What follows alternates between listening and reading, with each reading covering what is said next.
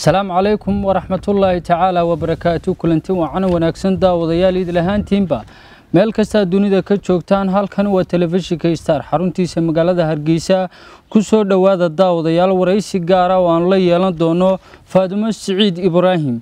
La taliyaha dhinaca arrimaha dibadda ee guddoomiyaha xisbiga mucaaradka ee wadani waraysigan oo dhinacyo badan taabanaya magacaygu waa maxamed faarax ku soo dhowow telefishinka star ugu horeyn sidaan sheegay waraysigan oo dhinacyo badan taabanaya waxaan doonaya inaan ku horeeyo qaybta taariikh nololeedkaaga. Bal ugu horeyn faadmo xaggee ku dhalatay? Waxaan ku dhashay miyiga oodweyne muxuu ahaa weli geed hoostii waayahay waxbarashadaadii ilaa dugsigii hoose dhexe sare ilaa jaamacaddii maxaa ahayd waddanka waxaan ka tegay anigoo saddex jira cadan baanu tagnay. Maxaa ahayd meesha la yidhaaho macallow baan waxoogaa joognay. Intuu fiisihii iyo wixii isku wada hagaagayay. Dabeetana ingiriiskii baanu maxaa ahayd tagnay. Halkaasan markaa aan ku galay dee maxaa ahayd dugsigii hoose dugsigii sare jaamacaddii caruurteedoo dhammina xaggaasay ku wada dhasheen. Afartooduba saddex wiil iyo gabadh maxaa ahayd runtii shaqooyin fara badanna xaggaasaan ka qabtay. Halgankii snmtana maxaa ahayd halkaasaan joognay. Magaalada kaadhuf waxay ahayd magaalada halgankii snmta bilowgeedii laga bilaabay. Waxay ahayd asaaskii halkaanu ka asaasnay. Inaanu maxaa ahayd aanu lacagta ururino. Inaanu maxaa ahayd dadka dhaawacmay ama askarta dhaawacmay inaanu wixian soo qaadi karayna soo qaadno. Halkaanu ka bilownay inaanu muujino inuu maxaa ahayd wadankii markaa loo yaqaanay soomaaliya. Qaybteeda waqooyi inuu dagaal ka socday iyadoo dowladda ingiriiska oo aanay ogeyn inuu dagaal ka socday oo ay safaaradoodii muqdisho joogtay ay tidhi waxalla wax dagaalo oon anaku ognahay ma jirto oo dowladda soomaaliya markaa siyaad bare uu qarinayay. Markaa runtii dagaal fara badan baanu xaggaa ka soo qaadnay waana kii safaaradii soomaaliya ku xidhnay muxuuha waana meeshii adduun weynidoo dhammi ay ka ogaatay ee laga xaqiijiyey inuu xaasuuq xumi uu ka dhacayay waqooyiga markaa la oran jiray waay halganka asaname aad ka qayb qaadanaysay aad xaggaa joogtay goormay ahayd marka ay kugu dhalatay inaad halganka ka qayb qaadatay intibaad jirtay adugu wallaahi maxay ahayd waxa igu qaadatay waxa weeyaan 1979 kun sagaal boqol iyo sagaal iyo toddobaatankii baan wadanka dub ugu soo noqday magaalada muqdisho baan ku aqal galay. Dabeetana odaygayga allaya raxmed raaximiin waxaa laga dhigay suduwaha xanaanada xoolaha iyo dhirtiya daaqa beledweyne beledweynan haddana lix bilood aduu sanad dhowdhow aan deganay waxayd meeshii iigu horeysay weligay aan ku arkoba dagaal. Waxaa la soo rusheeyey diyaaradihii etoobiya dabeetana weligay alhayde filinaan ka daawado mooyaane laakiin cimrigay anigoona arkin diyaarad wax rushaysa. Taasu iigu horeysay remember waxaanu joognay inankii markaa muxuu ahaa ku xigay odaygayga ee dhirtii daaqa ka shaqaynayay gurigiisa. Markaa waxaa laga sameeyey hog weyn oo dufays ah dabeetana markii la qodaya baan xasuusanaan yaabay horta meeshan maxaa laga sameynaya mase la yidhi markay diyaaradu rushaynayaan baynu halkaa gelinaa masaan yaabeen fajacaan halkaas waaba idinku dumi doontaay ma xabaal baynu talow sii qodanayna de sidaan aanan u rumaysnayn in cidi halkaa geli doonta. Unba maalintii la rusheeyo wale nafla caaradkiian dalaq toosu sidii digaag yaroo lagu xareeyey maxay ahayd xeradiisii aanu noqonay. Markaa runtii dagaal iyo maxaa diyaarad wax rushaysaba telefishin aan ka daawado mooyaane iyo filin ka daawado mooyaane horta maalintaasaa igu horeysay doorkii dambena maxaa ahayd anagoona dufaysyo iyo meelaha u dhoweyn bayna qabsatay. Markaa deetana buuraha iyo maxaa ahayd baanu galnay. Dhirta hoosteeda oo meelahan ku ogaaday inaana maxaa ahayd la hoosgelino show waabay soo doonataaba. Markaa khibrado fara badanba berigaa aan ka qaatay markii dambe waxaa loo bedelay berbera dekeda berberu markaa xoolaha ka dhoofin jireen oo muxuu ahaa uu ka shaqaynayay. Adugu toddoba iyo toddoba iyo siddeetankiiba markaa muqdisho dub loogu celiyey waxaad markii maxaa ahayd dagaalku soo socday maxaa ahayd ragga waqooyiga ee madaxda sare aanan loo ogolayn inay joogaan maxaa ahayd hargeysa iyo berbera iyo burco iyo meelahaase la geynayay muxuu ahaa muqdisho lagu xareynayay. Halkaasaanu joognay dagaalkiina bartaasuu noogu dhacay. I remember waxaan xasuusanahay rabadaantii ka horeysay waxaan jeclaa markaan rabadaanta aan afurayno inaan dhegaysto cuna cuna cuna. Imay noqon jirin moogtahay inaan soomay haddaanan maqlin markaa radiogaan geysan jiray radio hargeysa. Cuna cuna cuna cabo cunadaasaanu ka dhegaysan jirnay. Maalmihii dabeetana dagaalku uu socday laakiin xamar lagama dareemayn dadka waxaa lalahaa waxaweyn everything waa caadi. Ciyaarihii maxaa ahayd togdheeryo baa ka socday. Maxaa markaanu maqalno dad ay noo yimaadaan la yidhaha dagaal baa socday hor dagaalka socda waa maxay de meel alle meel aan ka maqlayna ma jirto. Baan i remember maalin fiidkii baan yidhi walaa dhexe. Baa la yidhi ilaacadii baa la duqeeyey radio hargeysa. Markaasaan doondoonay radiogii waan doondoonay waan doondoonayo waan waayey maalintaasaa anuu aan maxahayd aanu yara xaqiiqsanay inuu wax jiro. Dhaqdhaqaaq fara badan baa jiray cusbitaalada maxaa ahayd dhaawac fara badan baa la keenayay. Habeenkii waxaad maqlaysay diyaarado fara badan iyo guuxeediyo maxaa ahayd socotaa suuqa laftarkiisa askar fara badan fara badan oo lagu soo maxaa ahayd lagu sii daayey dadkii oo maxaa ahayd laajada ree waqooyi haddaa lagugu maqlo la xidhxidhayay markaa runtii maxaa dhaqdhaqaaqu? Maalinba maalin sii kordhaya sii kordhayay markaa runtii markii aan ku noqday ingiriiska odaygayga iyo laba inanay walaala yihiin iyo inantii markaa nala joogteen noo shaqaynaysay oo aan berbere ka soo kaxaystoon. Runtii reerkeediina anugu aan ka soo kafaalo qaado oo maxaa hadduu ay wax dhacaanna waan idiin soo celinaya baa joogay waxaa joogay oo kale guriga maxaa ahayd inan aanu ilmaadeernahay iyo inan aanu ilmaabtinahay oo iminka iyakuna degan berbera kaydoo xasan iyo iyo cana bare inteedaasaa guriga ku joognay. Iyo markii dambena maxaa ahayd ehelkii oo iska soo badbatay. Maalinba qof soo dhacayay dabeetana maxaa markii aan ingiriiska de runtii de dhibaatooyin fara badanna iga qaadatay sidii aan horta u baxayaba oo b b c daa lala culowday b b c diiba lala colowday markaasa layidhi cid alle ciddii baasboor ingiriisba sita.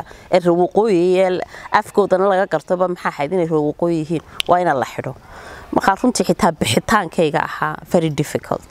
Oo adkaa de marxalado fara badanna meesha wuu nagu soo marayo gurigoo loo soo dhacay iyo maxaa dadkii oo la xidhxidhayay iyo markii maxaa ahayd ayaamahaasoo maxaa ahayd dilkii jasiira ay dhaceen iyo runtii de maxaa ahayd ay aada u soo kululaatay. Bal anigu de ingiriiskii aan ku soo noqday alxamdulilah rabbilcaalamiin waxaan dabeetana doonay inaan ninkaygii iyo dee caruurtii wixii de mas'uulka ka ahaa inaan ingiriiskii keeno. Markaan safaara markaan u tegay dee maxaa ahayd ingiriiskii dowladda ingiriiska dabeetana aan idhi dagaalkiiba ka socdo ninkaygii iyo caruurtii iyo waxaasaa meesha ku goodoomeen doonay inaan soo kaxeeya. Bay rumaysan waayeen dagaal ma jiro. Desno safaaradda iyadii baanu la hadalnay safaaraddu de waxay tidhi ma jiro dagaal. Niman anakaa ka nimiyo anigagaasaa ka imiyo maka dabeetana taasaa igu bilowday. Markaa inan kaloo isaguna cabdikariim la yidhaaho oo markaa haystay maxaa ahayd xafiis soomaalida loogu adeego oo kaadhif ku yaalla iyo maxaa ahayd dumar kale oo fara badan oo na caawiyey banu dabeetana maxaa ahayd aanu waxaan contact gareeyey gabadh la yidhaaho claire hudson. Claire hudson waxay ahayd b b c wales bay reporter sidii noo kale ay u ahayd wariye markaa dabeetna maxaa ahayd? Waan u sheegay waxaan war dhibaatadaasaa haysata. Ninkaygii iyo inamadii ay walaal ahaayeen iyo inanaan ka mas'uulahay iyo ehelkii oo dhan baa jooga dowladduna waxay ii diidaysa inaan soo kaxeeyo. De waxay leedahay dagaal ma socdo. Dagaalkaas nagu socda anahaa ka nimi.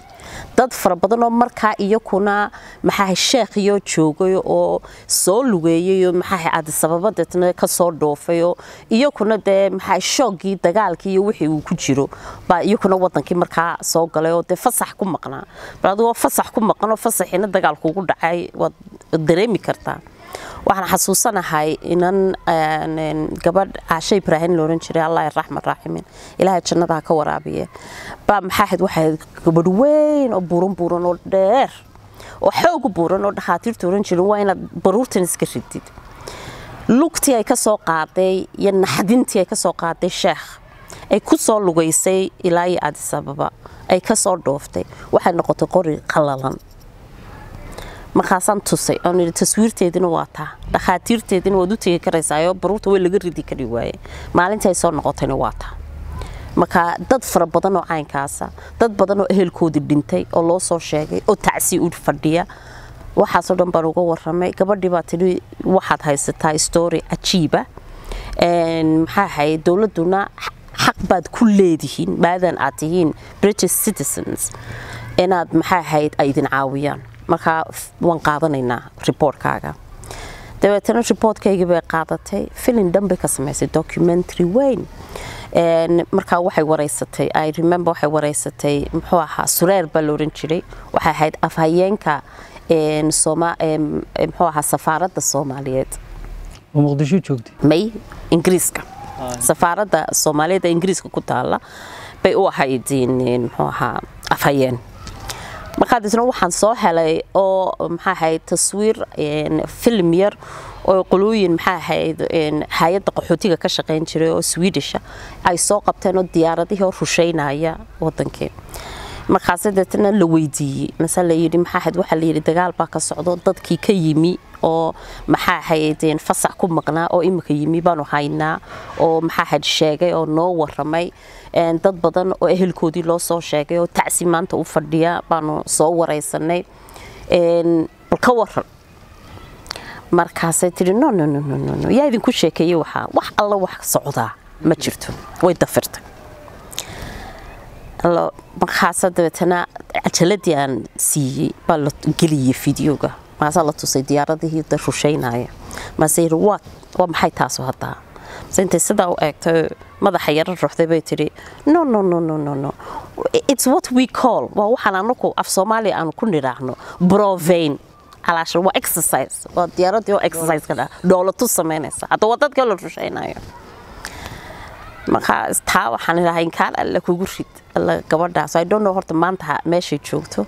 Waxaan xasuusanahay inaynu dhowr xafiis oo beryaha de markaa da laga hadlo qaxootiga ay iman jirtay ma jirto qaxootiga ma jiro oo waxba ma jiro dagaal ma jiro xafiiska kaba la'aan aanu kaga saari jirnay markaa runtii de maxay ahayd waxaayahaasoo miidhan baa jiray oo dee nagu kalifay oxford university waa universityga ugu weyn ee maxaa ahayd ingiriiska saddex lecture baan ka sii daayay oon dagaalka iyo dhibaatada iyo dadkii wadanka maxaa ahayd markaa loo ogolaaday inay soo galo waayo filimkaas wuxuu ahaa filmadii filimkii dowladda ku khasbay inay waxaa la yidhaaha family reunion ay fasaxaan muxuu ahaa westminster waxaan ka sameeyey maxaa ahayd lectures fara badan.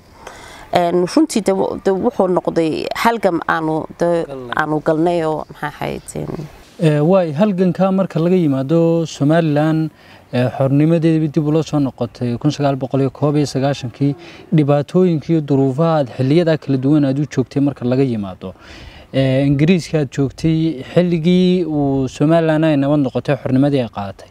Aad aragtay in wadankii ay nabadii ka dhalatay. Aad ku soo noqotaa xillimehe oh my goodness. Maxaa hayd horta ma waxaan u malaynayaa maalintaa horta maalintii daan xorriyadeennii la soo noqonay wadankii la soo galay fideoyaal baa maxaa ahayd la soo duubi jiray. Oo dee telefishin caynkaas farxadda lagu muujinaya fideogaa la soo duubi jiray fideoyaashaasa lanoo keeni jiray. Dee ma qiyaasi karaayo maba qiyaasi karo. Dee farxaddii markaa aanu dareennay waddankeygii la xoreeyey waddankii dadkaygii ku soo noqdeen maxaa ahayd shirarkiiba maxaa video laga soo qabtay tii burco maxaa ahayd maxamed ibraahim cigaal allahi raxmood maxaa ahayd la qabsaday maxaa ahayd la doortay waqtigii tuuriyo maxaa ahayd madaxweynihii tuur cajalada caynkaas oo aad u fara badan lama keenin. Laakiin cajaladaha ugu fara badan waxaa ahayd waqtigii maxaa ahayd maxamed ibraahim cigaal waqtigiisaba cajalada fara badan fara badan fara badan lanoo keenayo. Xitaa hudhaaladiyo markaa dub loo soo asaasayo i think one of the, best ones wuxuu ahaa markaa oo aad maxaa ahayd loo xayeysiin jiray wuxuu ahaa araweelo markaa maxaa ahayd lo odhan jiray crown. De markaa laakiin i think araweelo buu ahaa i think so. Waa u malaynaya. Iyoba maxaa ahayd muxuu ahaa iyo hudhaalkeennan kale ee xaraf markaa runtii maxaa ahayd waxay ahayd farxad cana la soo koobi karen absolutely aan la soo koobi karen waay marka duruufaha aada soo martay laga yimaado iyo farxadaha kala duwan xilmee adiga kugu dhalatay inaad siyaasadda ku biirto. Bismillaahi raxmaan raxiim horta waddanka waxaan dub ugu soo laabtay waxay ahayd iyo sideed iyo sagaashankii baan dub ugu soo laabtay. Fasax baan markii hore ku imi runtii. Odaygayga allahi raxmi baa aada maxaa ahayd nabcaa qurbaha oo aana jeclayn. Dabeetana isagaa yimi markuu yimi baan dee aniguna ka daba imi wadankaa dabeetana jeclaaday inaan digo oon caruurtana dejiyo baan jeclaaday runtii waktigaas waxaa waqti aada u adag. Waxa ahayd ku dee wax alla wax caynkaas oo dhisnaa haba yaraatee may jirin. Laakiin waad arkaysa wadankaagii oo dee maxaa ahayd halgam soo maray oo dubbu dhiskiisii waan jeclaaday inaan ka qayb qaato. Waxaan markaa shaqo ka helay qolada swiss group. Dabeetana waxay qaatay u n h c r dabeetana waxay qaatay save the children. dabeetana maxay ahayd qolada office of the high commissioner for human rights oon geneva. markaa maxaa ahayd aan joogay dhowr bilood intaanay nairobi iisoo transfer garayn markaan ku jiray maxaa ahayd the office of the high commission of human rights. waxaayaha fara badan ka shaqaynaynay waxaa ahayd xabaalihii xaasuuqa inaanu maxaa ahayd de aynu xaqiijino inuu maxaa ahayd xaasuuq wadanka ka dhacay sidii loo preserve garayn lahaa ama dee maxaa ahayd loo kaydin lahaa halgankaa waxaa igala qayb galay markii aanu helna xabaalihii roobbaa roob xunbaa na helay waqtigaas. Maxaa ahayd dabeetana xabaalihii buu soo faqay lafihii oo isku wada xidhxidhan. Dabeetana maxaa ahayd? Waxayd maka durdure markaa maxaa ahayd waxaa jiray xafiis isaguna macluumaadka xasuuqa oo dhan maxaa ahayd ururin jiray oo muxuu ahaa xuseen caydiidyo ay maxaa ahayd ka shaqayn jireen. Waxa dabeetana waxaan doonnay inaanu hagaajino si aanay maxaa ahayd biyaha roobku aanu maxaa ahayd evidenceka fara badan aanu inaga qaadin dabeetana waxaa igala shaqeeyey muxuu ahaa inanka sayid la yidhaaho madbaqada qaranka ka shaqayn jiray. Maxamed xaashi. Samsam cabdi oo markaa maxaa ahayd iyaduna c c s ka shaqaynaysay muxuu ahaa cabdulaahi maxamed ducaale xaaskiisa. Runtii waxaanu hayn group fara badan. Baan maxaa ahayd u yeedhay iyakaa markaa maxaa ahayd caawiyey runtii oo yidhi annakaa ku caawinayna. Marka awareness fara badan baanu samaynay maxaa ahayd dadweynihii baan dhex waxaan markaa dabeetana waxaan idhaa ninku lacag idinkama doonaye. Waxaan laakiin idinka doonayaa sibid iyo maxaa ahayd iyo iyo de maxaa ahayd dhagxaan iyo jay iyo waxaan meesha aanu u samayno meel ay biyuhu ay maraan biyo marayn. Askarta lix iyo labaatanka juun iyo maxaa xerada iyo labaatanaad. Baa iyakuna nagu soo dagaafay un markuu arkeen shaqadan meesha ka hayno. Marka mid waliba wuxuu yidhi iskaa wax u qabsan u samaynaynaa xabaalaha. Maxaa hayd sidii biyaha looga maarayn lahaa. Baanu falagood aanu qabanaynaa. Iyakii baa noo yimi. Wallaahi maxaa ahayd waxay ahayd shaqada ugu khiirada badnayd maxaa ahayd aanu samayno. I remember maxaa ahayd waxa ku yaalay geed. Geedkaa waxaanu helnay nimankii lagu xidhay nin ahaan. I think imaka wuxuu ku nool yahay ohio. Markaa wuxuu nooga sheekeeyey sidii wuxuu ahaa askartii ku xanuunsanayay maxaa cusbitaalka hargeysa dabeetana calaashan maxaa hayde soocidda dadka la kala soocayay waqtigaas. Iyagoo askartii muxuu ahaa soomaaliya ahaa ba haddana la kala soocayay markaa waa laga soo saaray. Iyagoo hayb ahaan ku soocayay halkaasaa la keenay. Dabeetana geedkii xadhiga layskugu wada xidhay wuxuu yidhi sida cadhigaa xadhka lanagu wada xidhay. Dabeetana geedkii lagu xidhay isaga ee nimankii kalena ay ku daba xidhan yihiin xadhigii halkii geedka lagu xidhay. Ilaa now i think inuu ku xidhan yahay waa waqtigaa. Wallaahi wuu ku xidhnaa. Ninkaa sheekadiisaas waa sheeko aad u qiiro qiiro badanoo runtii dee u baahan waqti dheer oo dee inaa laga laga laga hadlo runtii. Waaya iminka haddii aanu yar leexano dhanka siyaasadda adigu iyadoo awalba marka hore laydhaha haweenku markay siyaasadda galaan ama xilalka la magacaabaya waxaa way kuba yaryihiin markooda hore. Haddana adigu shakhsiyan faaduuma ahaan xilmaad go'aansatay inaad dhanka siyaasadda u baydho. Wallaahi horta maxaa haydin horta siyaasaddu mu ahayn waxaan jeclaa. Ama waxaan mogtay hobbies buud qof ama waxuu dee jecel yahayo wuxuu doonayo horta siyaasadii marna may ahayn waxa aan jeclaa anugu samafalkaan ahaa ingiriiska markaan joogay somalilan markii aan imi weligaba samafalkaan ka shaqayn jiray. Oo de d p joognay waa kii aan jeelka weyne hargeysa dhisnay qaybta looga iyo muxuu ahaa legal cliniga muxuu ahaa jaamacadda police stationada muxuu ahaa xarunta imaka xaquuqul insaanka commissionka xaquuqul insaanka aanu sameynay booliiska dumarka booliiska mandheera mogtahay aad bay u fara badnaayeen shaqooyinka. Waxaasan iyo dhalinyarada dee sportskooda waxaasan jeclaa. Marna siyaasad haddaad i weydiin lahayd markaad labaatan jir soddon jir tahay faadimo siyaasad ma galaysaa waxaan oran lahaa politics ah no never. muuhayn waxaan jeclaa ma niyadaba xitaa aan gashaday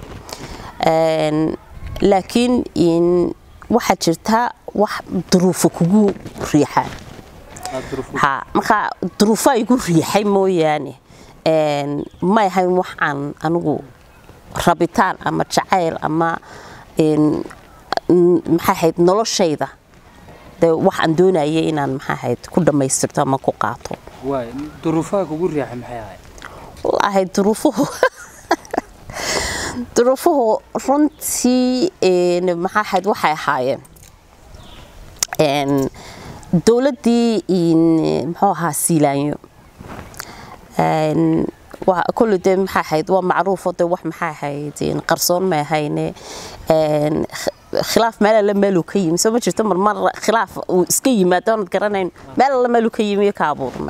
baa maxaa ahayd dee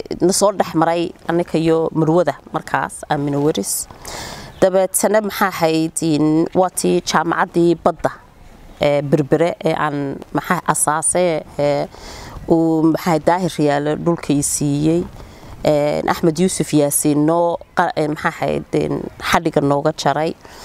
Maxaa ahayd aanu runtiida maxaa ahayd aanu samaynay gacanta ku haynay. Caawimo u baahnayd ina de maxaa ahayd aanu u soo maxaa ahayd adduunka uga soo qaadno. Oonu doonayna inay noqoto geeska afrika jaamacadda ugu weyneedee culunta badda iyo kalluumaysidka laga barto. Maxaa ahayd taa waa tii lagu yidhi uun ama soo wareeji i remember exactly muxuu ahaa eriga la isticmaalay. Wuxuu ahaa markii uu xirsi ku jiray uu maxaa ahayd ahaa wasiirka madaxtooyada. baa laygu yeedhay madaxtooyada. Deetana xirsi baa ii yeedhay waan u tegey. Deetana xildhibaan nacnac baa dabadda fadhiyey markaasaan ku idhi xildhibaan waxa anuu keligay halkaama gelaye ba maxaa ahayd kaale ii raac? Markaa xildhibaan nacnac baa ila soo galay. Deetana af buuxoba buu igu yidhiba xirsi waktiga jaamacadda ama asxaan ku soo wareeji wanaag ku soo wareeji. Haddii kale maxaa ahayd awood dowladeed baa lagaagaga wareejinaya anigoo ogna halkay amarkaasu ay ka timi. Daana waxaan ku idhi un maxaa ahayd aan noqdo gabadhii ay dowlad dhammi u babacdhigtaye ku wareeji anigu maxaa kuguma wareejinaye iga qaad. De sidabaa dabeetana maxaa ahayd ramaaxo markaa ahaa maxaa ahayd badhisaabka berbera iyo dee maxaa ahayd sacadoo markaa isaguna ahaa wasiirka muxuu ahaa wasiirka maba xasuusnay isaguna wasiir ahaa maxaa ahayd samsamo iyadu waxay ahayd wasiirka waxbarashada. Dewati dowladdii oo dhan oo oodaheedii wadata oo aanu qof ka maqnayn maxaa ahayd dee ii soo babacdhigeen khasab iyo jujuub maxaa ahayd laygaga qaaday. Xitaa hadaa lagu yidhaho de maxaa waxbaa magdhab baa lagu siinayo de wixii lacagee kaa galay oo de anigoo keliya ma ahayne dee dadkii fara badnaa maraykan maxaa dadkii muwaadiniintii maraykanka joogay muwaadiniintii ingiriiska joogtay australia laga soo diray buugaag librarygii ugu weynaa maxaa somalilan baa laga dhisay oo la sameeyey oo buugaagtu meel walba uga timi. Xitaa dadkii dhisay ee maxaa ahayd halgankaa ku dhisay muwaadinimo ku dhisay dhallinyaradu maalintaan dhisaynay waxay ka soo dareereen muxuu ahaa iskuuladooda iyagoo iskuul uniformkoodii xidhanoo buugaagtii sita. Bay maxaa ahayd nala soo galeenoo meesha warehouse buu ahaa ama maxaa bakhaar bakhaarkii baanu duminay oon dub dhisnay moogta markaa wuxuu ahaa de horta taasu dagaalkii koowaad buu ahaa moogta deetana markii dambe unba haddana waxaa aan maxaa ahayd qaybtan maxaa ahayd derbijiifka waxaan arkay derbijiif fara badan hablo yaryaroo derbiyaasha jiifo oo la kufsaday. Maxaa ahayd caruurtii oo inamo iyo hablood ay lega iskaga jiraan baan dabeetana anigu madaxweyne ku-xigeenka u tegey waxaan ku idhi maxaa ahayd waxaan doonayaa inaan xarun aan sameeyo. Madaxweyne ku-xigeenka wuxuu axmed yuusuf yaasiin. Axmed yuusuf yaasiin baa yidhi wallahi waxa weeyaan maxaa ahayd shaqo aad iyo aad u wanaagsan. Annagoon kula caawin doono wixii aan kula qaban karaayo. Jiciiro markaa ahaa muxuu ahaa meeyarka caasimadda baan u tegey isaguna aad buu uula dhacay. Deetna wuxuu yidhi maxaa ahayd dhulkaan ku siinayaa halkaa maxamed muuge buu naga siiyey dhulka. Waxaan u tegey dabeetna cabdirashiid muxuu ahaa dahabshiil maasaan u sheega xaruntaasaan doonayaa inaan sameeyo. Isaguna wuxuu yidhi maxaa ahayd waan kula qaadanaya deetna waxaan aniga lacag hay dhiibine. Dhismaha dhis deetna miftaaxa oo noo dhiib. Telesom baan dabeetana u tegey. Telesomna waxay yidhahaan kijinka iyo qaybaha iyo waxaasoo dhan baanu dhisaynaa. Iyakan waxaan ku lacag haalna siinina furaha u noo soo wareejay in aw siciid baa isaguna ka qaatay. Markaa at that time waxaa jirtay luul xasan mataan oo markaa maxaa ahayd laga eriyey muxuu ahaa xaquuqul insaanka oo aan agaasimaha odxa aan markaa aan ka dhigay oo nala shaqayn jirtay oo runtii iyaduna maxaa ahayd qeyb libaax leh ka qaadatay maxaa ahayd khayr allaha siiya.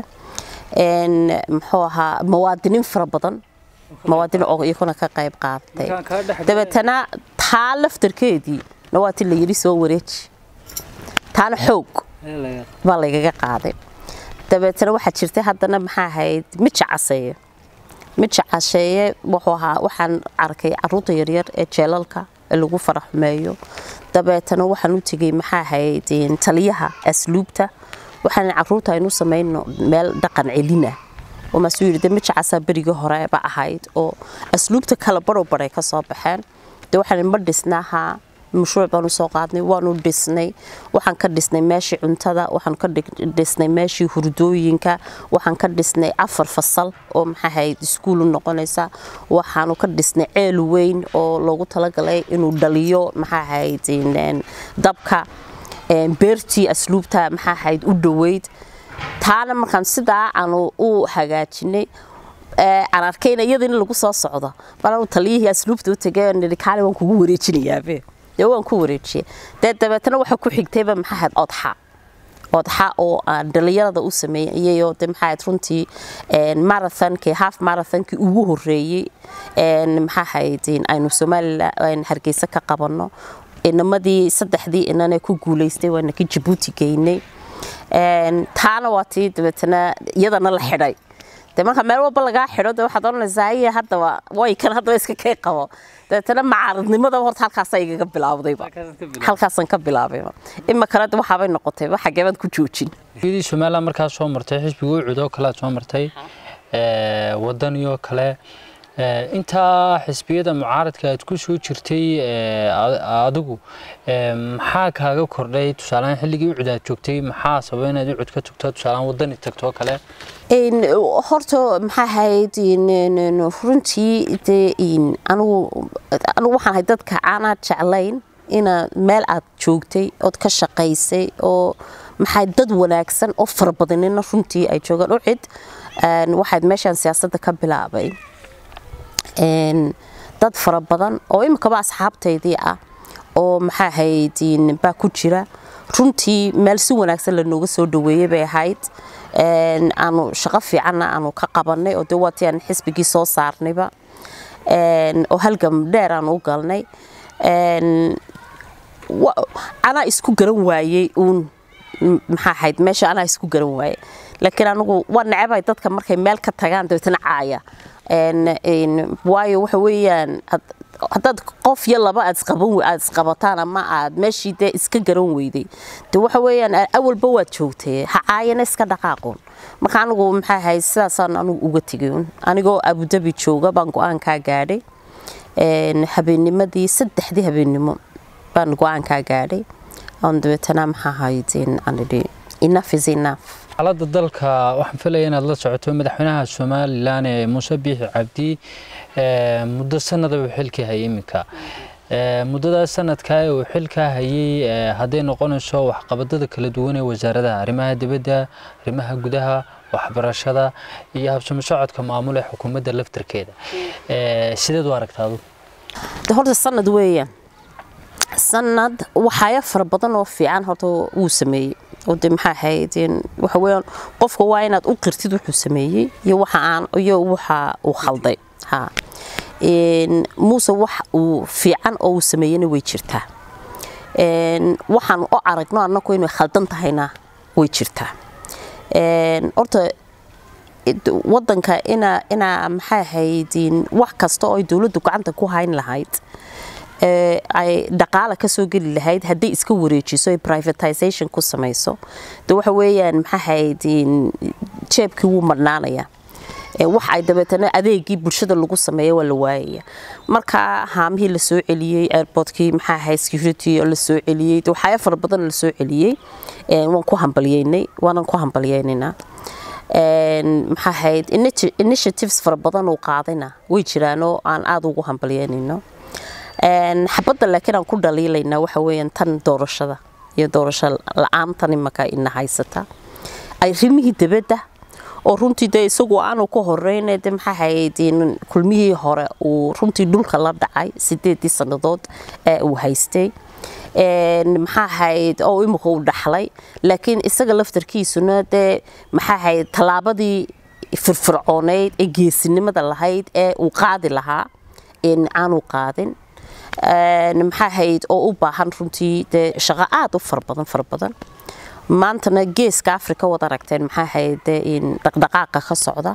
Dhaqdhaqaaqa waxa weeyaan haddaad ka mid noqon weydid. De waxa weeyaan cid unbaa loo tashanaya adigunbaa lagu tashan. Markaa maxaa ahayd runtii de inaynu tallaabooyin ka firfircoon tallaabooyinka la qaadaya inaynu qaadno. Inaynu maxaa initiatives cusub aynu la nimaadno oo aynu maxaa hayde aynu ku soo jeedinayno adduunkii. Indhihii adduunkaanu dub iskugu soo jeedinayno. Geedi socodkii wanaagsanaa ee laynaga bartay ee ahayd maxaa ahayd nabadgelyada iyo muxuu ahaa iyo doorashooyinka inaanaynu maxaa ahayd ayna hoos u dhicin. Imika ta ugu xume ina haysataa waxa weeyaan badhan dahar waa laysla soo dhaafay badhan bay socotaa badhani lixdan kilomitr bay arigaabo u jirtaa. Ilaa naaw tallaabo aynu ka qaadnay ma jirto.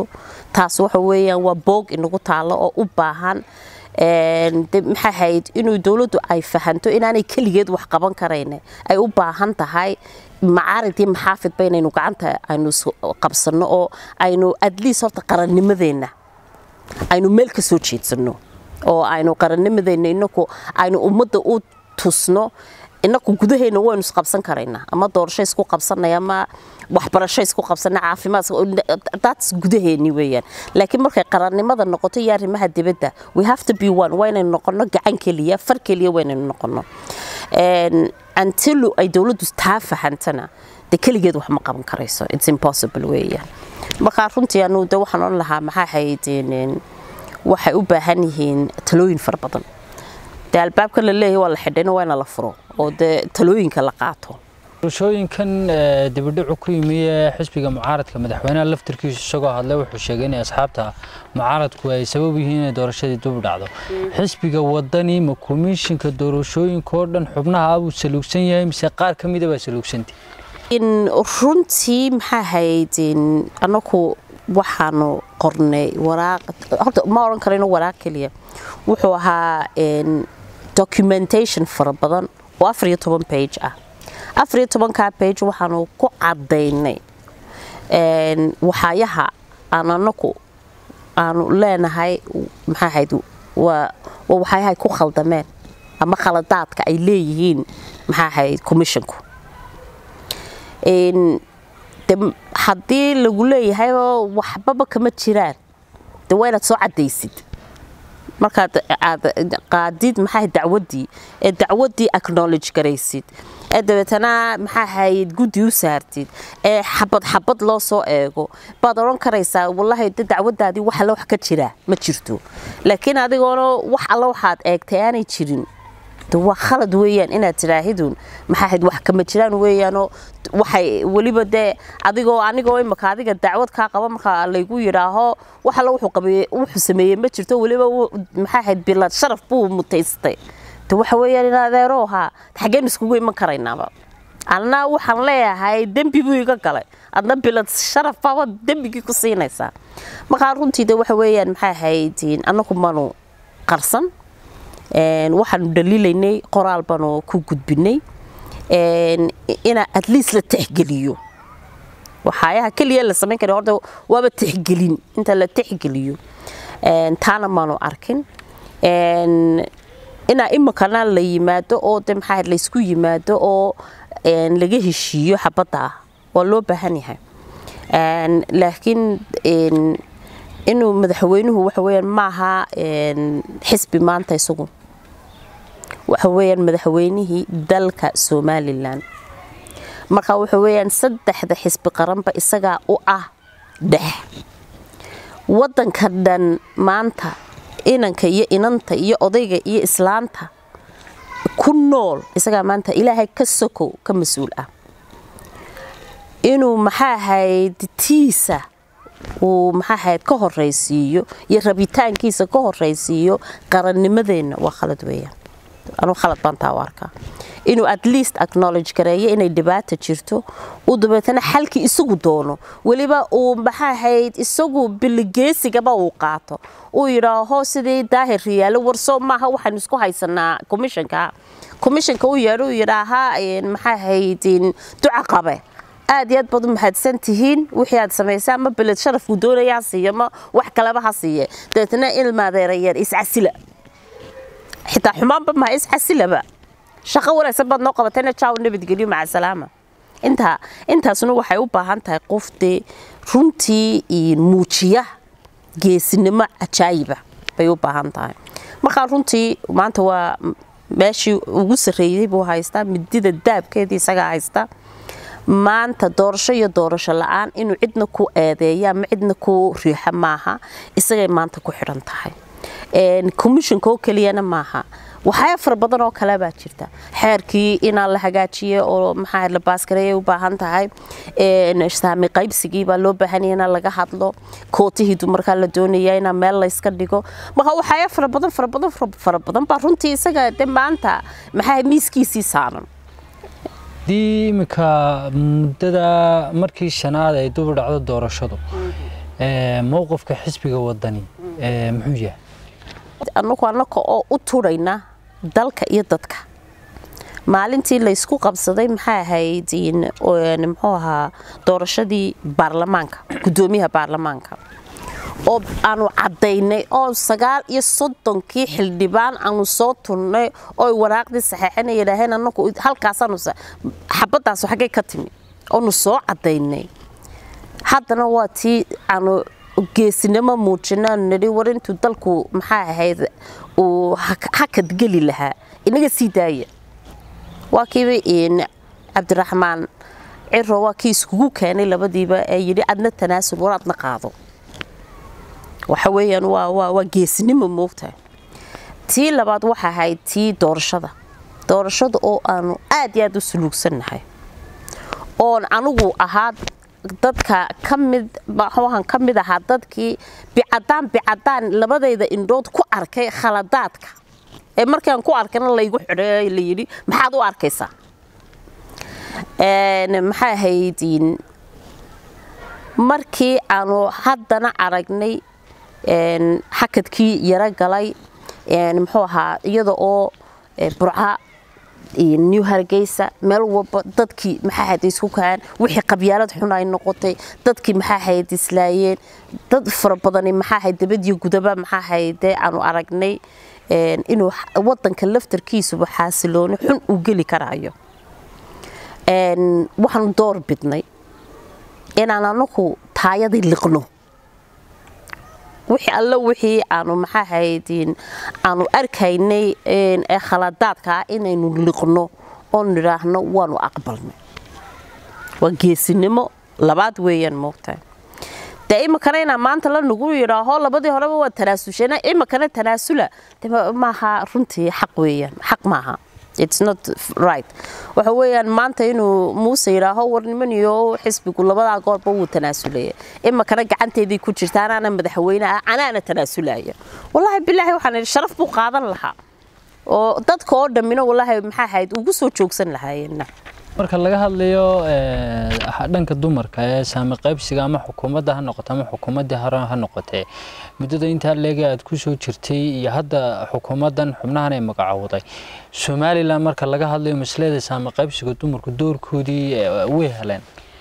Wallaahi horta dee dhibaato fara badan baa ka haysata maxaa ahayd somalilan dumarka iyo magacaabistoodii iyo maxaa ahayd iyo qaybtii ay geedi socodka ay ka qaadan lahaayeen. Runtii dumarkuna way samir badan yihiin. Runta markaa loo baydho aad iyo aad bay u samir badan yihiin. Runtii annagu waxaanu jecelnahay inay maxaa ragga iyaga iyo inaamada iyada iyo inaanu dhisno oo ay iyaku ay maxaa hayde ay gaadhaan meelaha ay doonayaan. Annagu inta badan waxaanu jecelnahay inaanu iyakana dhisno annaguna maxaa hayd aanu noqno dadkii dhisi lahaa oonu xagga dambe aanu ka soo riixno. Laakiin de waxaa jirta dad fara badan oo dumar fara iyo dhalinyaro fara badan oo maanta iyakuna doonaya dad ay maxaa hayde hiigsan karayaan inay arkaan inay ogaan karayaan inay meel kastaba ay ka geli karayaan maxaa hayd siyaasadda oo ay dalkooda u shaqayn karayaan. Way siyaasaduna maaha darajaad waad keligaa aad iska leedahay. Waxa weeyaan waxa tahay qof qarankii u shaqaynaya dadkii u shaqaynaya. Marka inay iyakuna ay helaan waktigooda de waxa weeyaan waa xaq ay leeyihiin. Mar haddaanay diinta u diideyn hadday diinta kuu diidayso de markaa waad ka joogsanaysaa. Laakiin maadan aanay diintuna u diideyn asluubtoodii iyo walaagoodii iyo ka huwanna ay geli karayaan. Ay waxyaabo fara badanna ku soo kordhin karayaan. Meelo fara badanna buuxin karayaan. De wixii loogu diidaaba horta runtii ma jirto. Laakiin kolley kolleyba dee raggu way jecel yihiin inaanay maxaa hayd kuraasidooda aanay sii deyn labiyo siddeetankaasay midka inan gabadh keliya ay kaga jirtaayo. Hadday heli lahaayeen gabadhaana way ka qaadan lahayen waxaan odhan lahayen iska fadhiiso adigu. Marka waxa weeye waa geedi socodkeedii bay leedahay wakhtigeedana way iska iman doontaa. Wax walibana wuxuu ku timaadaa tallaabada ilaahay subxaana wa tacaala uu qoro markaa hadday qoraalka ay ku jirtona inaanu saami qaybsigayagii helno maantana waanu heli doonaa.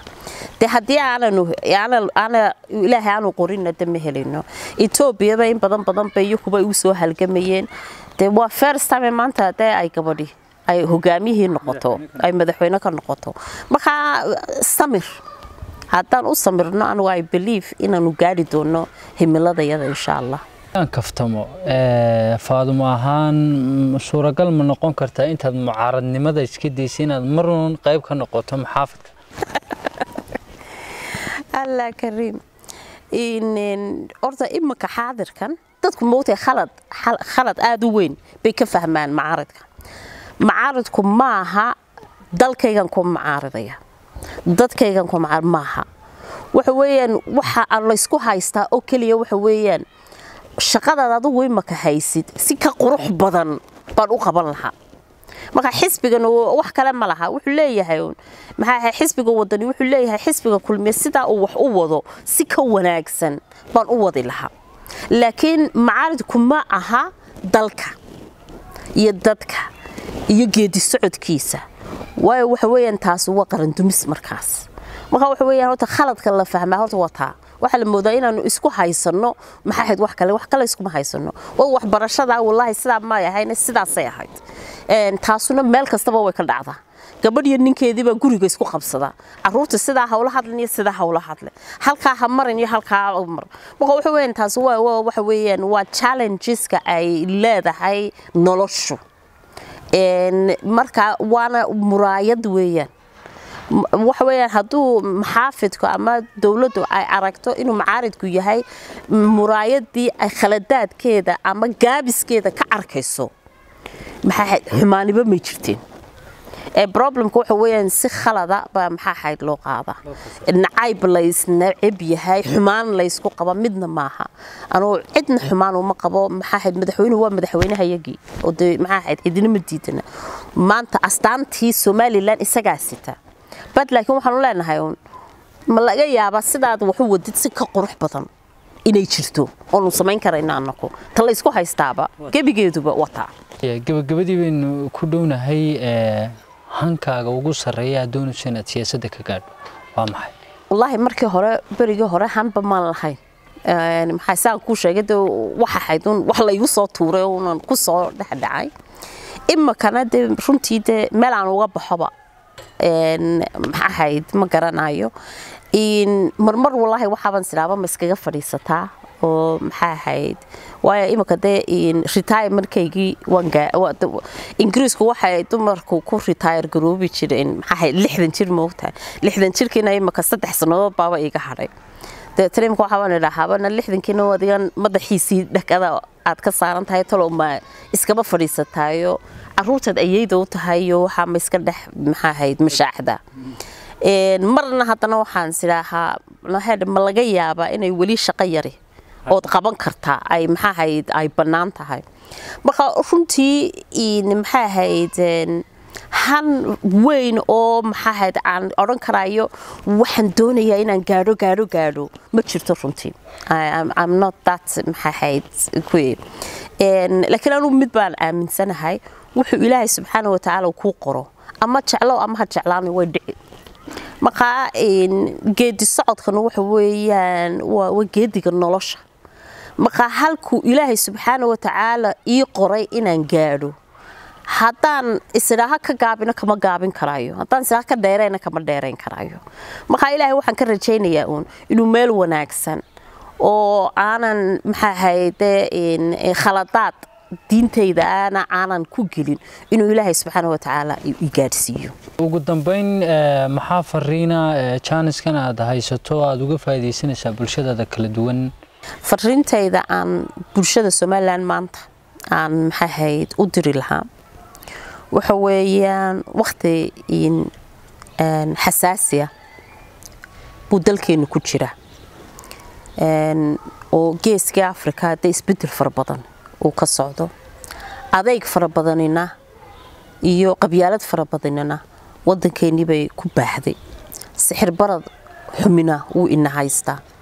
Nolosha aad iyo aad bay u adkaatay dhallinyaradeenni shaqooyinkii ay doonayeen ay rajeynayeen ee ay rabeen weli may gaadhin.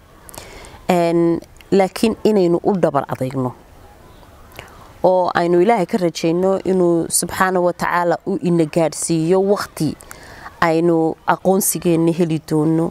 Wakhti ay dhallinyaradeennu shaqo fiican heli doonaan. Wakhti uu waalidku waxana uu maxaa ahayd caruurtiisa ugu halgamayo uu maalin ku keefi doono arki doono insha allah bismillahi kariim markaa inaynu gacmaha isqabsanno inaynu maanta gacmaha aynu isqabsanno oo aanaynu macaalid iyo maxaafid aanay dadku aada ugu milmin ee ay noqdaan dad dalkooda iyo dadkoodii iyo calankoodii u soo jeedo aanu mayga maanta soo soconna debadiyo gudaba aynu ka muujinno inaynu nahay far keliya. Somalilan inay far keliya tahay.